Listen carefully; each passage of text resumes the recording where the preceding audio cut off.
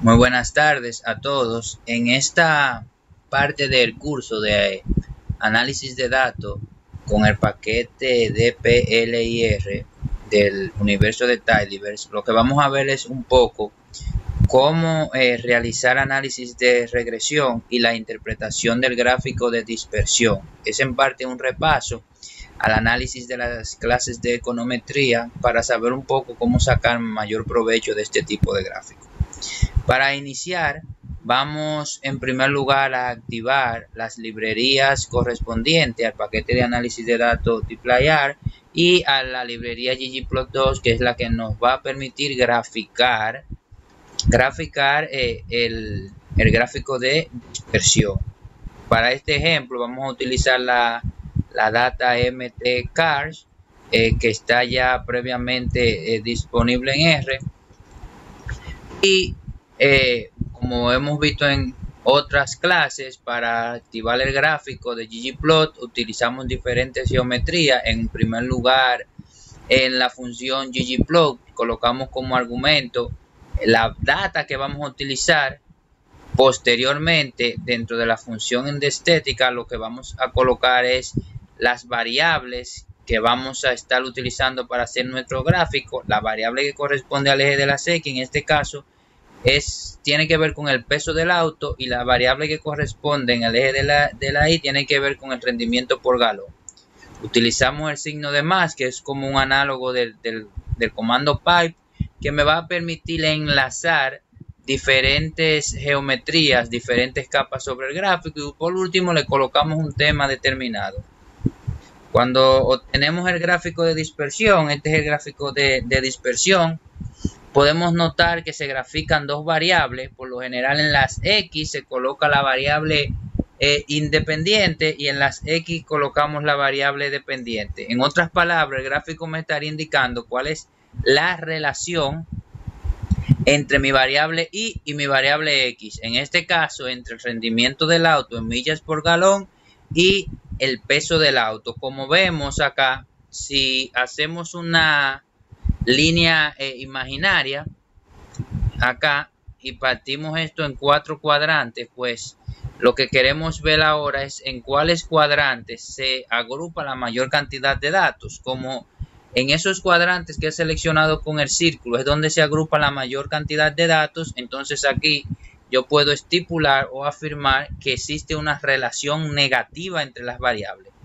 En otras palabras, lo que me está indicando es que en la medida en que aumenta el peso del auto, el rendimiento por galón tiende a disminuir o la probabilidad de tener un menor rendimiento por galón tiende a aumentar. Y aquí es muy importante eh, poder apreciar que si bien el gráfico de dispersión me permite realizar un análisis de relación entre dos variables cuantitativas, no así me va a permitir establecer causalidad. Es decir, hasta este punto yo no puedo determinar que la caída en el rendimiento de las millas por galón se debe al aumento en el peso del auto. Solamente estoy hablando de una asociación negativa entre esas variables. Pero adicionalmente a la capacidad que tiene el gráfico de dispersión para yo poder identificar la dirección de la relación también me va a permitir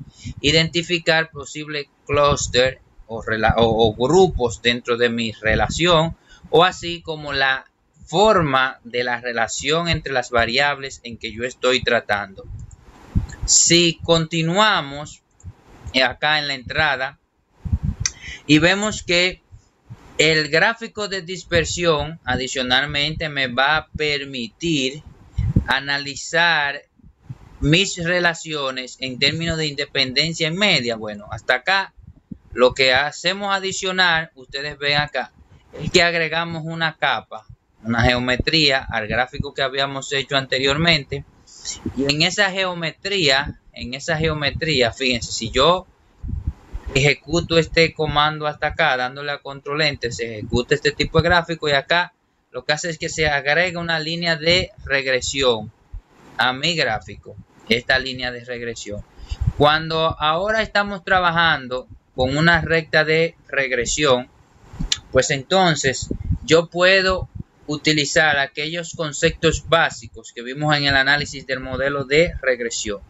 Recuérdense que cuando hablamos de dos variables, esta recta de regresión yo la obtengo como el i estimado en econometría que es igual a beta 0 más beta 1 x. En otras palabras, en el caso de este ejemplo, eso es, este i estimado es igual o siempre va a ser igual a la esperanza de i condicionada a los valores de x. En otras palabras, la recta asociada a mi gráfico de dispersión, yo la puedo interpretar como los puntos asociados a las, a las esperanzas condicionales de mi variable. En aquí donde tiene un 5, yo diría que el valor de mi recta de regresión es aquel que corresponde a la esperanza de que de mi variable i, m, pg, condicionada a un valor puntual de mi variable x, que es el peso por galón, en este caso igual a 5.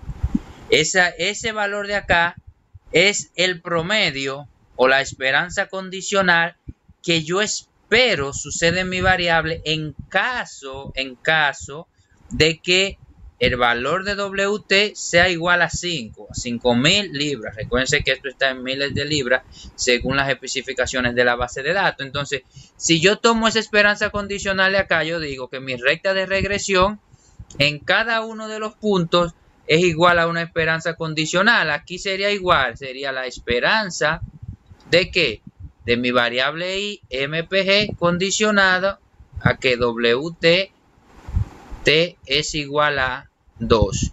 Entonces, dado, ahora, dado que la recta de regresión la puedo interpretar en términos de esperanzas condicionales, lo que yo puedo es utilizar la identidad de independencia media que me, que me dice que dos eventos X e Y son independientes cuando la esperanza condicional de X sea igual a la esperanza condicional de Y. Entonces sabemos que cuando esto sucede, cuando esto se cumple de acá, estamos hablando de que existe independencia entre las variables. Ahora, cuando esto se rompe, pues hablamos de que existe que no existe independencia, al menos en media. Entonces, ¿qué es lo que estamos observando? Aquí tenemos una independencia, vamos a llamarla A, a esa identidad, y esta vamos a llamarla B. Pues el valor de A se coloca por acá, que es esta esperanza condicional, y el valor de B se coloca por acá. Entonces, ¿qué tengo? Que A es mayor a B, o que en la medida en que WT, que es mi variable X, va aumentando, la esperanza condicional de mi variable dependiente, condicionada a la variable X, pues se va, va disminuyendo ese comportamiento de la esperanza condicional es propio de una relación negativa entre las variables. Recordemos entonces que si la recta fuera positiva, entonces la esperanza condicional en cada uno de esos puntos va a ir en promedio aumentando o va a ir aumentando en la medida en que el valor de WT se va siendo más elevado. Posteriormente, ¿Qué sucedería entonces en caso de independencia? Bueno, en caso de independencia tendríamos que A sería igual a B e igual a cualquiera de los puntos que dibuje mi recta de dispersión. En tal sentido, ¿qué sucedería? Que la esperanza condicional sería igual a la esperanza incondicional. Es decir, o en otras palabras, para cada uno de los valores de X, la esperanza de I sería la misma. Entonces, eso es lo que sucede cuando tenemos una gráfica con una línea de dispersión como esta amarilla, que es una línea plana. ¿Por qué? O en teoría fuera una línea plana. ¿Por qué? Porque la esperanza condicional de mi variable i, dado los valores de x, va a ser la misma independientemente de cuáles sean los valores de x. Entonces, de aquí yo puedo asociarlo, interpretar que ese valor, ese valor o esa forma que asume la recta de regresión me va a permitir a mí identificar si existe dependencia o independencia en media entre las variables. Asumiendo además, recuerden si ustedes también de su curso de econometría, que ese beta que está acá, ese beta que está acá es igual a la pendiente, a la pendiente, ven, recuerden que este es un cambio en X y aquí tengo beta, que es el cambio en Y. Cuando X cambia en una unidad, ¿en cuanto cambia beta? Beta es igual a la pendiente de esa recta de regresión. Y como beta es igual a la pendiente, y recuérdense que, que, esto es una fórmula donde aquí tengo la varianza en covarianza entre y y x, y aquí tengo la varianza de x, bueno, la varianza siempre es positiva y la covarianza me, me da la relación entre ambas variables. Entonces, la pendiente de esa recta de regresión siempre va a ser igual a la, va a tener el signo, si la pendiente es negativa o positiva o cero, va a tener el signo asociado a la covarianza entre las variables. Entonces, ¿qué, ¿qué, posiciones puedo tener? Bueno, una relación negativa como se muestra acá, una relación positiva como se muestra acá, o una relación de o una relación neutra o independencia entre las variables como se muestra acá. Mientras, mientras mayor dispersión tengan los puntos alrededor de esa recta de regresión, pues más débil es la relación que estoy identificando. Mientras más cerca estén esos puntos de esa recta de regresión, pues más fuerte es en ese caso la recta que estoy identificando. Cuando la relación es perfecta, aquí tengo una pendiente de 1 o de menos 1 o de 0. Bien. Entonces, si lo asocio, esas pendientes estarían asociadas a los coeficientes de regresión, de correlación que pudiese identificar entre las eh, variables. Adicionalmente, noten que la relación puede ser no lineal. Es decir, si yo tomo únicamente esta parte del gráfico o tomo los valores menores a 3, puede ser que la pendiente sea distinta a cuando tomo valores de X mayores a 3, que estos son valores asociados al peso del vehículo. Entonces yo pudiese cambiar la geometría de la recta de regresión, esta geometría que estoy especificando acá, para asumir otra forma o formas no lineales asociadas a la recta de regresión. Y aquí viene una segunda o otro uso, un uso alternativo de los gráficos de dispersión. Adicionalmente, me pueden permitir en el momento en que yo estoy realizando análisis descriptivos identificar identificar posibles relaciones funcionales entre variables. Es decir, en el caso de que esto hubiese sido una línea recta, pues me hubiese apuntado a que yo únicamente necesito estimar un modelo de regresión tradicional y en función de X. Ahora, cuando asumo una forma cóncava o convexa, puede estarme orientando a que necesito modelos cuadráticos y que la variable WT debería aparecer en mi modelo de regresión no únicamente con la forma lineal, sino que también debería de agregar esa variable al cuadrado en mi modelo de regresión. Otra de las condiciones importantes del análisis condicional es que si bien la relación entre variables en términos globales me puede apuntar a que existe un tipo, se puede caracterizar de algún tipo, cuando yo realizo mi análisis, cuando yo realizo mi análisis a lo interno de diversos grupos de mi población, Puede ser que me encuentre con que las relaciones cambien entre individuos.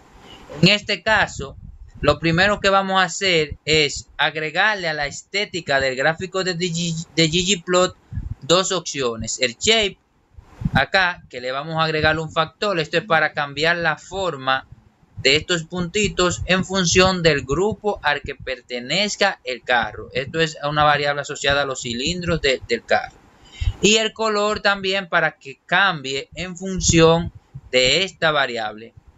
Posteriormente ahora con hacer esta clasificación pues eh, la función lógicamente ahora me está estudiando o me está testeando la relación que existe entre mi variable dependiente e independiente en función de la cantidad de cilindros que tiene el carro. Noten acá ustedes o el vehículo que la relación puede cambiar de forma significativa. En este caso, cuando se tiene cuatro eh, cilindros, pues la, la relación es negativa, mucho más pronunciada que en los vehículos que tienen mayor cantidad de cilindros.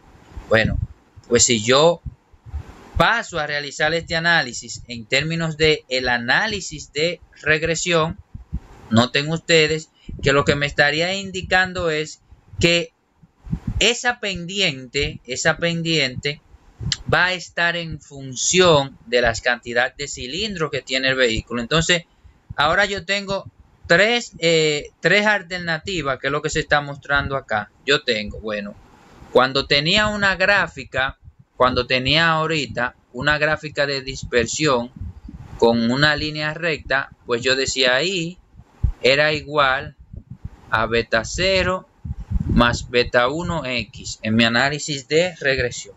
Ahora, cuando pasé a identificar que la relación era de este tipo, yo decía ahí era igual a beta 0 más beta 1x más beta 2 x al cuadrado. Pero ahora lo que estamos es identificando es que esa pendiente, este beta que mide la relación entre eh, eh, tu variable y y tu variable x, depende, depende a su vez de la cantidad de cilindros que tenga el vehículo. Entonces, como ahora tengo que esa tiene es una relación de este tipo, que cambia en función del valor de las cantidades de cilindros, pues mi forma funcional en el modelo de regresión sería beta 0 más beta 1, x1 más beta 2, x1, que sería WT, el X en todo este caso es WT y el Y es MPG, eh, beta 2 multiplicado por Z, en este caso Z es este factor que tengo acá. ¿Por qué? Porque me acabo de dar cuenta que esa variable, que esa variable o esa relación que acabo de identificar está en función de los valores de Z.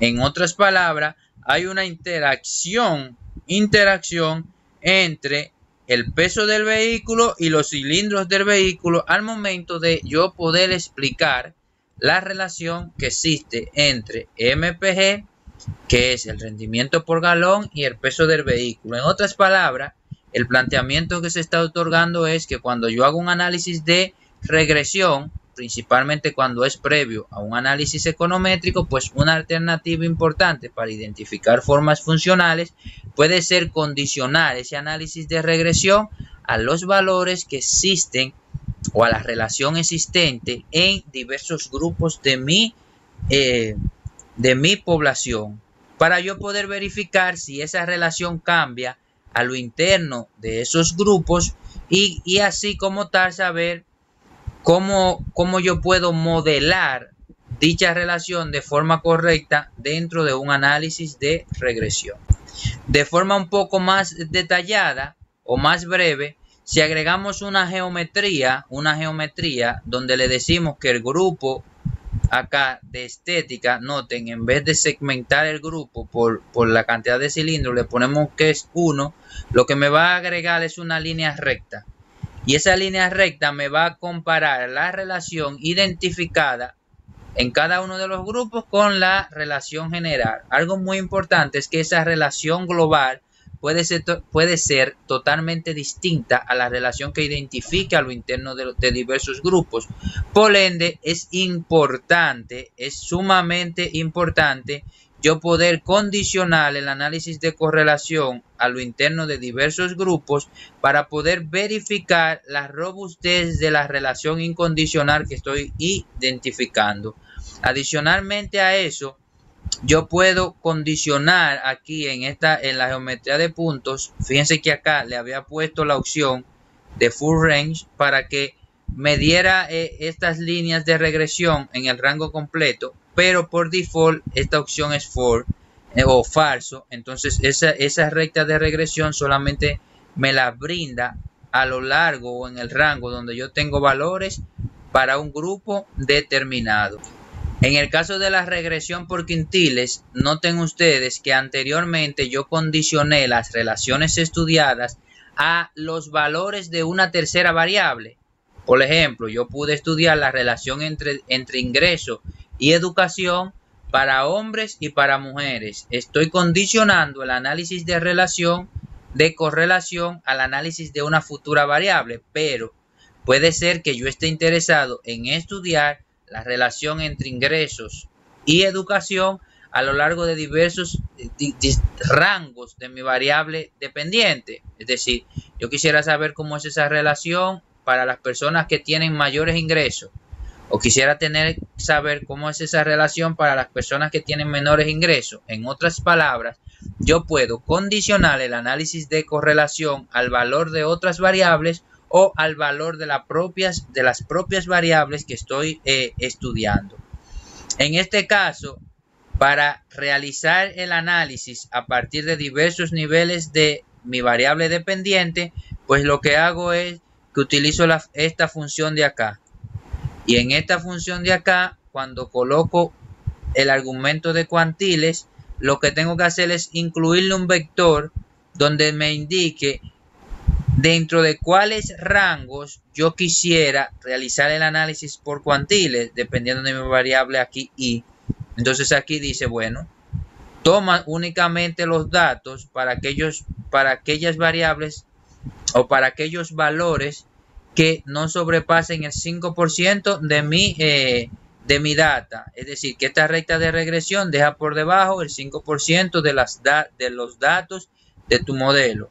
Y así sucesivamente. Y lo que hace en este caso es realizar un análisis de correlación en función de los valores de, la, de mi propia variable. Otra alternativa es segmentar o generar una variable nueva que sea de rangos de esta variable y con esa variable nueva ponerla acá. En vez de factor C y L, ponerle el nombre de la nueva variable que hemos, eh, que hemos recodificado. Entonces, estos son algunas pautas que podemos utilizar para ampliar o potenciar el análisis de correlación. Adicionalmente a esas pautas, está el tema de que podemos clasificar o identificar valores perdidos. Y está el tema además que dejo acá en este enlace de que en el caso de series temporales siempre debemos realizar análisis de correlación entre variables que sean estacionarias. Entonces, esas variables que son estacionarias tienen propiedades estadísticas que son deseables, como la independencia entre, entre los valores, que son deseables en el contexto o para el análisis exploratorio. ¿Por qué? Porque recuerden ustedes que cuando tenemos series que no son estacionarias, pues se crea cierta autocorrelación entre el valor de las variables y por ende y por ende se violan algunos supuestos de independencia que son necesarios para establecer o para darle validez a algunos momentos que hemos estado utilizando a lo largo de este, de este análisis como la media o la covarianza. Por ende, en este ejemplo que dejo debajo, ustedes se van a fijar que para realizar el análisis de correlación entre series, entre series temporales, es usual transformar la serie en diferencias o hacer el análisis de correlación sobre las series en logaritmo. Aquí activamos esta librería que me va a permitir graficar más fácilmente serie temporal usando ggplot o con el comando autoplot. Y noten acá que yo tomo el logaritmo de mi variable y a ese logaritmo le hago la primera diferencia que es una aproximación a la tasa de crecimiento. Y lo grafico para que vean cómo se empieza a comportar la, la variable. Posteriormente cargo mi base de datos y con la función across que tenemos un video por ahí explicando la función, la, utilidad de esta función, lo que hago es que creo una tasa de variación o una variable que es la tasa de crecimiento de cada una de las variables que contienen mi base de datos. Y finalmente entonces hago un análisis de dispersión entre las tasas de crecimiento de las variables. Entonces, en forma de, de conclusión, podemos decir que en el caso de series temporales, el análisis de correlación se suele realizar a partir de las tasas de variación o crecimiento de las variables con las que estoy trabajando.